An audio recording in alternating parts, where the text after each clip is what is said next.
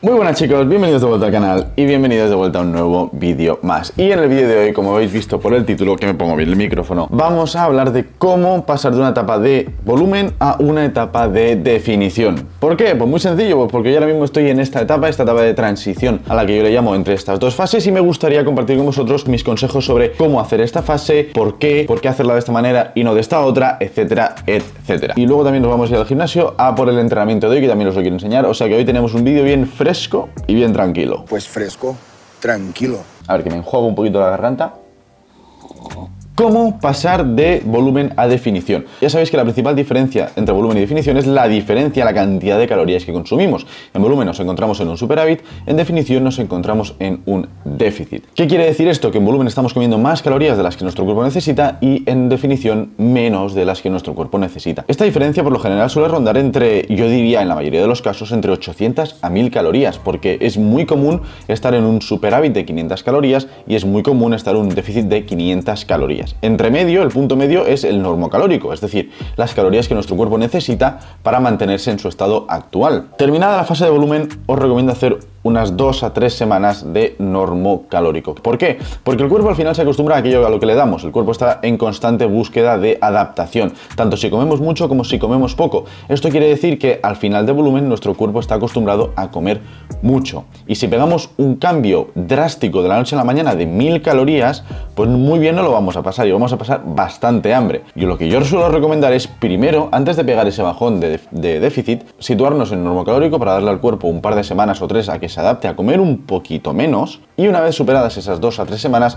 pasamos ya al déficit y pasamos ya a la definición en sí misma. Insisto, esta fase es fundamental para poder trabajar con nuestro cuerpo, no en su contra, ¿vale? Tenemos que escuchar a nuestro cuerpo y tenemos que intentar trabajar con él y sabiendo que nuestro cuerpo va a buscar adaptarse a todas las circunstancias que lo rodean en todo momento, debemos entender que pasar de este nivel de calorías a este de aquí de la noche a la mañana va a ser un cambio muy drástico y va a ser un shock muy bestia y es el motivo por el que mucha gente de repente empieza a tener muchísima hambre cuando pasan de volumen a definición, porque pegan un cambio de calorías de unas mil calorías y al final, pues evidentemente el cuerpo eso lo nota. ¿Y cómo lo nota? Teniendo hambre. Así que en vez de eso, normo calórico durante un par de semanas, que el cuerpo se acostumbre y a partir de ahí ya empezamos a cortar calorías y empezamos a entrar en el déficit. A nivel de entrenamiento, ¿qué os recomiendo hacer? Os recomiendo seguir entrenando exactamente igual que lo hacéis en volumen. Realmente a nivel de entrenamiento las diferencias entre volumen y definición son prácticamente inexistente. Se tiene que entrenar igual de duro en definición que se entrena en volumen. ¿Por qué? Pues porque en, definición y en esta etapa de transición lo que nosotros queremos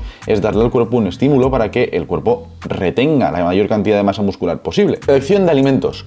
¿Qué os recomiendo yo hacer en esta etapa? Variar un poquito los alimentos por lo siguiente. En definición, es importante, o al menos a mí me lo parece, el utilizar alimentos que quizás eh, no sean muy densos calóricamente hablando, pero que nos permitan meter mucho volumen de comida por su poca densidad calórica. ¿Qué quiero decir con esto? Imaginaros, tenemos que conseguir en una comida concreta 50 gramos de hidratos de carbono. Bien, podemos hacerlo con pasta, que serán unos, bueno, de memoria no lo sé, pero serán unos 60 gramos de pasta, o podemos hacerlo a través de patata. ¿Qué pasa? Que para conseguir 50 gramos a través de la patata, vamos a necesitar aproximadamente, así de cabeza, 300 eh, gramos de patata. ¿Dónde va a haber, ¿En qué plato va a haber más comida? ¿En el de la patata o el de la pasta? Evidentemente el de la patata. A eso me refiero cuando hablo de alimentos poco densos calóricamente hablando. Alimentos que con mucha cantidad de ese alimento concreto nos den pocas calorías y eso nos permita llegar a nuestras calorías objetivo sin pasar hambre y saciándonos bastante. En esta etapa de transición podéis empezar a ir jugando y cambiando alimentos para ver cómo responde el cuerpo,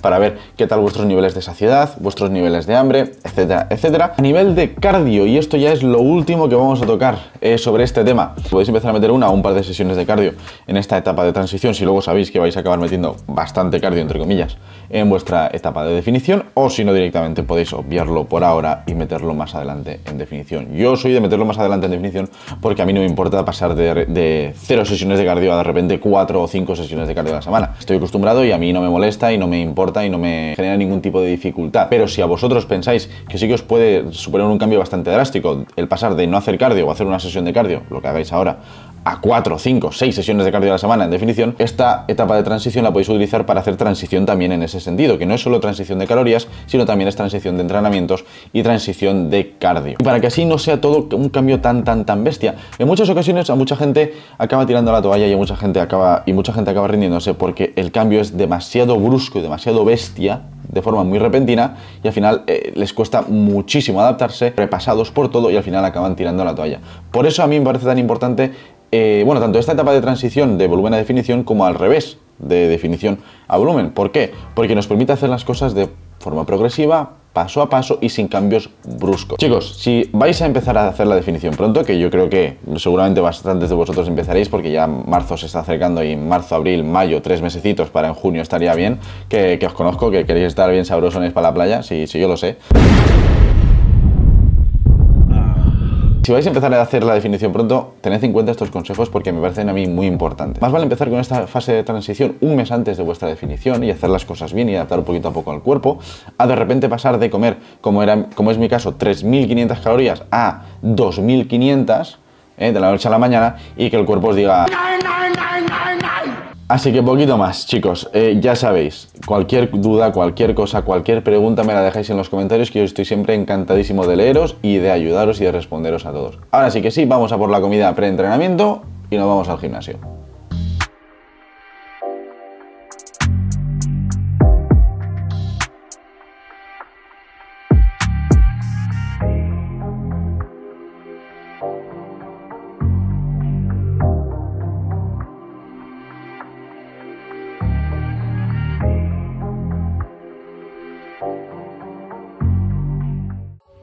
Bueno chicos, iba a decir que bienvenidos a otro comentario de entrenamiento, pero no va a ser el caso, dado que hoy durante la sesión tenía muchísimas, muchísimas, muchísimas cosas que grabar para cositas de las que pronto os contaré y que se vienen bastante, bastante pronto, o sea que estamos atentos, pero lo que os digo, final para cuando iba a empezar a entrenar me he quedado sin batería en la cámara. Simplemente aquí tenéis una serie de clips de los que he grabado hoy, de fondo porque también os quería meter algo de, algo de entrenamiento. Os he mezclado aquí toda una sesión de empujes que os recomiendo probar, ¿vale? Series y repeticiones las que vosotros consideréis necesarias para vuestros objetivos. Pero bueno, probadla y me contáis qué tal. En cualquier caso, chicos, espero que os haya gustado mucho el vídeo y espero que os haya servido mucho lo que os he contado antes de la transición de volumen a definición. No os olvidéis de uniros a la familia si todavía no lo habéis hecho. Muchísimas gracias si lo hacéis y nos vemos en la próxima.